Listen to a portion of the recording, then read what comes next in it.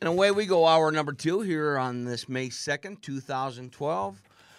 On the Tee on the Iowa Sports Connection radio and television network. It's uh, one pro, one hack. You're still an IPGA pro. I'm still an IPGA pro. And you're playing better golf you ever have for a I, long time. I, I am. Just don't. Uh, not, That's don't Jay get, Horton.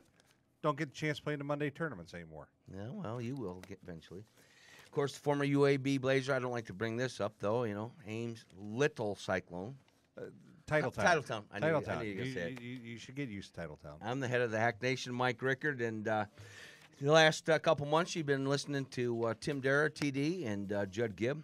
And uh, if you didn't listen to the first hour, Judd Gibb is playing in the Iowa Cup matches. He is playing the Iowa Cup matches. I've been looking, trying to update myself with the second round results down there at the Cup matches, and I haven't uh, haven't gotten an update yet. But No, we're going to get an update because uh, right now the pros are leading. The ratings are going to plummet because he's on the air with us.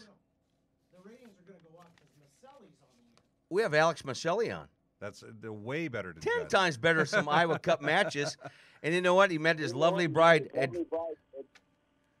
You met your lovely bride at Drake University. You, sh- you, sh- you should have been at the uh, relays last weekend.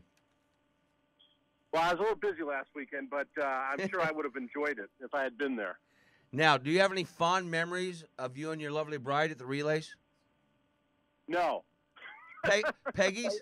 Pe- Peggy's? Well, I, Peg- you know, I oh, I have fond memories of Peggy's all the time. Quite interesting. I, I saw what was it like a year ago that that was up for sale. Yeah.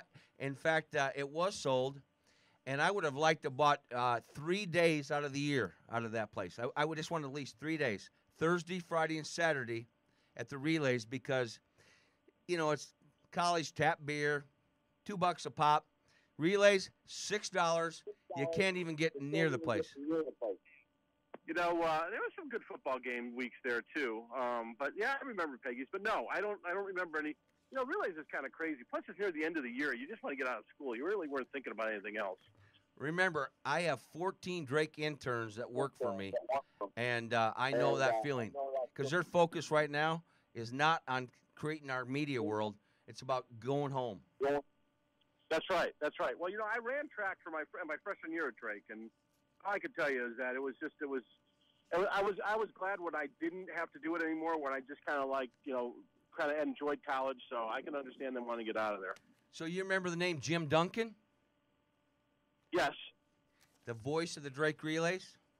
yes. His son is a very good friend of mine, very good writer. He's actually a uh, he's a food writer now in Iowa. But uh, Jim. Duncan, his father, you know, the voice of the Drake Relays, and now the track's named after him. Oh, okay. Well, that's great. What, what was your? Uh, I, I never knew you had this track background. What was your uh, forte in track? I was a sprinter and a hurdler. No, No. Yeah. that's got to be Golf Channel material, Alex. Come on. No, I don't think. I hope not. I got enough. I got enough problems. I don't need to give them any more fodder. Well, everybody's getting all uh, cranked up for the Wells Fargo Championship down there. Uh, you know, everybody's kind of the best field again since the Masters, uh, and everybody getting warmed up for the Players Championship. How do you see this week uh, breaking out with all the players? Well, I mean, you know, obviously we got five of the top ten players in the world here. You know, which includes Tiger, Phil, and uh, Rory McIlroy. That's a pretty good group. Um, you know, I think that you have to be careful because this is one of those places where you've seen. If you look at the list of winners, I'm not going to say that they're guys that would have jumped out at you at the time, and uh, but yet you can obviously have the, the better player succeed here as well. So I think it's a pretty open field in a lot of ways. There are a lot of guys that you know we're halfway through the season, believe it or not, and there's a lot of guys that are looking to try to do a little something with their season right now that didn't really probably have the best start in the world. I can think of one guy in particular, Brendon de Jonge, who lives here, who knows Quail really well. He had a pretty decent week last week, starting to maybe turn it around. So you can look at a guy like that, maybe he's going to have a week. I mean, when Anthony Kim won here, really wasn't thinking about AK. So I, I just think that there's there's a lot of uh, incentive, uh, as well as the fact that our guys are looking. They're not really looking yet at the U.S. Open, but they're getting really close. I think once you get past players, it's, the focus is really going to be on U.S. Open. Is this course, you know, uh, I, I, I know players like it. I mean, obviously it's a challenging golf course. Does it help? You know, does it does it set them up? Does it help prepare them for a U.S. Open to come play, or what what type of player does this golf course favor when uh, you know out there on the field? Well, you know they're going to have a PGA Championship here, um, and there's going to be some changes to the golf course. But generally, it's not like they're going to completely reroute the golf course. It's pretty much the same golf course with a couple tweaks. So it's a, it's a major venue in itself. The setup is such that uh, it gives you a little more room off the tee at times. The greens aren't going to be as fast as maybe they would be for a PGA Championship. But yeah, I think it's a, it's a it's a what would be considered to be a traditional major venue, and because of that, I think it's uh, that's why you're going to see really ball strikers do well here. Um, and I, you know, I, I don't know about preparation this early for uh, uh, U.S. Open. I think that there are guys in the past that you know, if they were thinking about the first of May, getting ready for the you know the middle of June, that's probably a little early.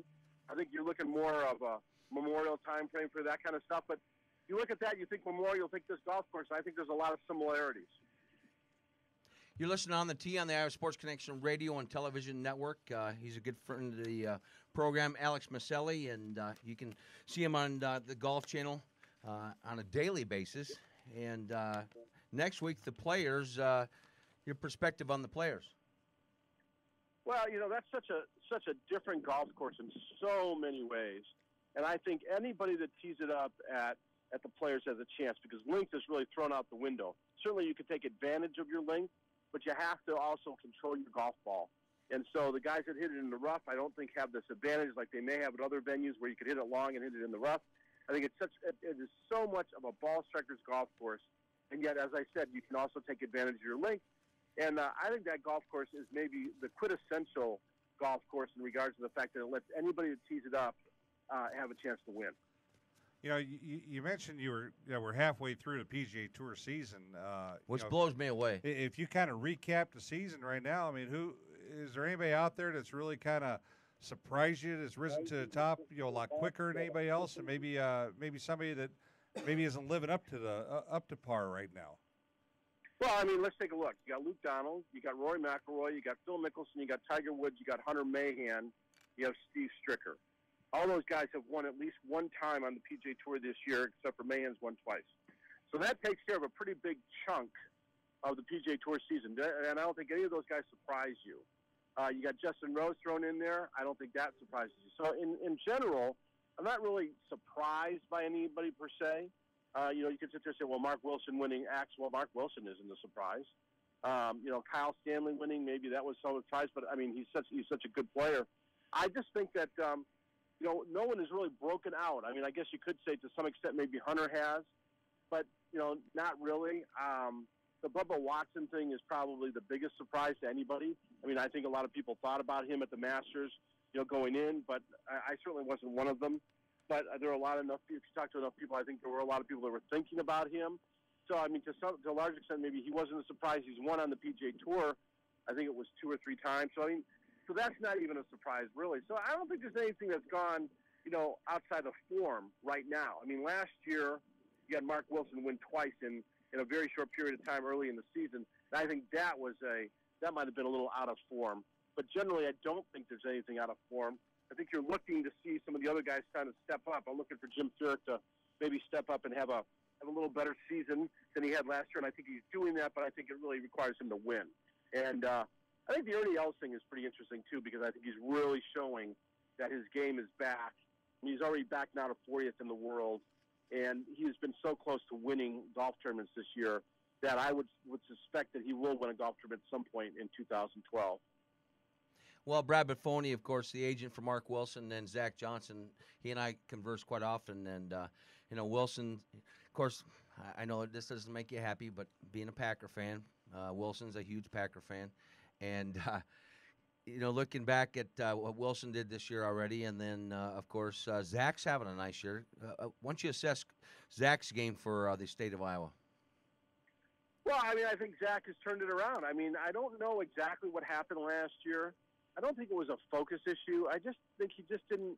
He just didn't have something wasn't clicking for him last year. And you know, he sits down at the end of the season with all of his people, his agent, his caddy, um, his strength guys, his swing guys, they all sit down and they talk about it and they work through it and they kind of take a look at a plan for, for the following year. And if there was the plan was it was a little faulty the year before or whatever it was, he just didn't have it. He just didn't have a Zach Johnson year. And you know, I say that, and, and I'm going to say this with all sincerity.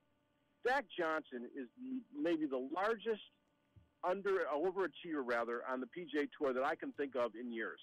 I mean, here's a guy rolling out of Drake University that nobody really knew, except for the people that you know obviously were at Drake or in Cedar Rapids. And here he comes and he wins golf tournaments. He wins major championships. He's got he's got game. He can play uh, the hard golf courses as well as the easy golf courses. So you know, here's a guy that's a huge overachiever. So when now all of a sudden we're looking at he doesn't have a very good year in 2012 or 2011, and if you would have looked at that year when he first came out, you would have said, well, it's not a bad year for Zach Johnson. Then you look at the year now from everything that he's done, and you're like, holy cow. I mean, that's not a very good year for Zach Johnson. That's just how different things are from when he first came out to where he is now. And so you expect him to win. You expect him to be able to turn it on and have a, have game. And I think you know most likely in Zach's case, what really what defines him when he's out here on the PGA Tour is going to be short game. It's going to be from 100 yards and in. If his 100 yards and in is not working, uh, he is not going to win golf tournaments. And I think that was where he was lacking last year. You know, Alex, I, you mentioned Bubba Watson kind of being a surprise win the Masters. Obviously, not many people were thinking about it, but um, I, I, coached college golf for 11 years, and I watched all these guys coming up. And sometimes the players on the range they look like robots when they're out there in their swings. Here you got a guy that just kind of invents his own golf game. I, would like to know your opinion. I mean, personally, I think it might be pretty good for the game seeing somebody curve it and do different things like that. I mean, do you think he's got that? Uh, you know, ability to kind of change uh, change an outlook of the game and maybe have this John Daly ripple effect throughout the game? Well, I think it's good to have the mindset that Bubba Watson has. The fact that there's it seems like a no fear factor. You know, I can do this shot, I can do that shot. But you know, this game now, with the equipment the way it is, is really not built for a Bubba Watson game. I mean, he's almost a freak of nature in regards to what you can do with this equipment. Because how many guys can take a, a golf ball with this equipment now, and you know, and take it off the toe and turn it over, you know, 25 yards uh, up a hill into a uh, into a pin. There's just it's just I think that that's more a recipe for disaster with this equipment than anything else. If you took me back 25 years and I was playing with uh, you know, a professional ball or balata ball, and I was playing with the old equipment, and I would say, you know, that's that's what golf is all about. That is not what golf is today. Golf is so much different than that. But yet, at the same time, you got to admire his um, his ability to do that and his uh, his creativity, which is what we've lost with the new equipment. And maybe at some time that will come back. I think that is what it's almost like where we where tennis was with the metal rackets and the, and the wood rackets the things you could do with wood, you could never do with metal. We're talking to Alex Miceli, and he's kind enough to join us. Where are you at right now, by the way? Well, I'm outside of a restaurant. I'm supposed to have dinner with uh, Butch Harmon in a few minutes, and so I'm doing. I'm talking with you guys, and then I'm off off to dinner with Butch. Well, Butch has been on this show a couple of times, by the way, and uh, tell him we said hi from on the tee. We certainly appreciate taking time. Make sure Butch buys for you, by the way. I will make sure. Because he loves the Iowa Hawkeyes. All right. You guys uh, take care. All right. Alex Miceli, thank you very much for taking time to join us. We're going to take a break. Come back here on the Tee on the Iowa Sports Connection radio and television network.